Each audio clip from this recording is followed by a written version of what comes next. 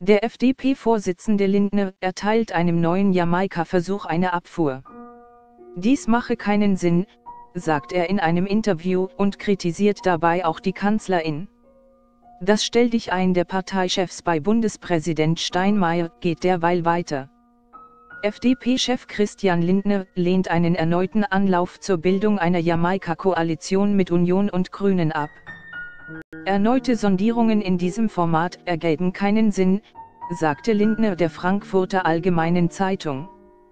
Bei RTL bekräftigte er, jetzt kann es keine weitere Bewegung geben. Und im Übrigen, wenn ich sehe, wie Bündnis 90 die Grünen jetzt über die FDP sprechen öffentlich, dann bestätigt das im Nachhinein meine Bedenken, dass eine vertrauensvolle Zusammenarbeit dort nicht gegeben ist. Lindner war am Dienstag von Bundespräsident Frank-Walter Steinmeier empfangen worden.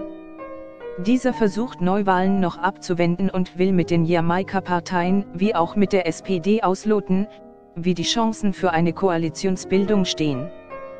Auch eine Minderheitsregierung kommt in Frage. Die FDP hatte in der Nacht zum Montag die Sondierungsgespräche mit CDU, CSU und Grünen abgebrochen. Dafür erntete sie teils harsche Kritik aus den Reihen der anderen beteiligten Parteien. In der FDP habe es die Wahrnehmung gegeben, dass wir der Mehrheitsbeschaffer für ein im Kern schwarz-grünes Bündnis hätten werden sollen, so Lindner in der Fahrt. Den Grünen warf er mangelnde Kompromissbereitschaft vor. Es gibt Grenzen der Kompromissfähigkeit, wenn es darum geht, einen Partner zu demütigen, sagte Lindner. Was am Ende auf dem Tisch lag, haben wir leider so empfinden müssen. Ohne die Grünen hätte es zweifelsohne eine Regierungsbildung gegeben, fügte der FDP-Chef hinzu. Bundeskanzlerin Angela Merkel warf Lindner vor, seine Partei benachteiligt zu haben. Die FDP habe von der CDU-Chefin so gut wie keine Unterstützung für unsere Kompromissvorschläge erhalten, sagte er. Die anderen Parteien hingegen haben eine zweite Chance für eine Jamaika-Koalition nicht ausgeschlossen. Die Tür ist offen, sagte Verteidigungsministerin Ursula von der Leyen am Dienstagabend in der ARD-Sendung Maischberger zu FDP-Vize Wolfgang Kubicki.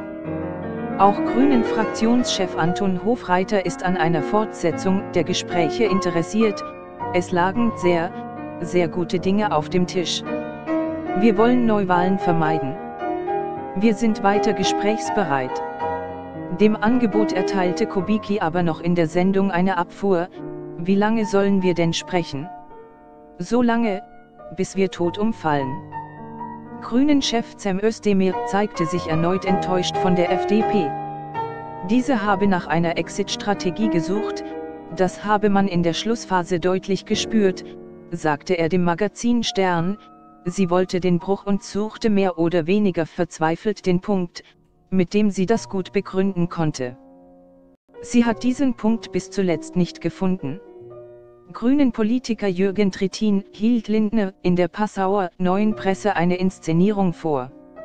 Nach der Absage der FDP stehen für den Bundespräsidenten weitere Gespräche an, um einen Weg aus der politischen Sackgasse zu finden. Nach Unterhaltungen mit den Vorsitzenden von FDP und Grünen spricht er an diesem Mittwochnachmittag unter anderem mit CSU-Chef Horst Seehofer, am Donnerstag dann mit SPD-Chef Martin Schulz.